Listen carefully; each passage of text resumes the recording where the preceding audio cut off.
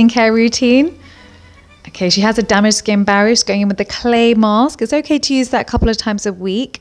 Love the cleanser. Do not exfoliate a damaged skin barrier. That's why she's in pain. Spot treatments are great. Moisturization is essential for a damaged skin barrier. Sunscreen important for everybody. Oh gosh. And lip balm, make sure it's fragrance free.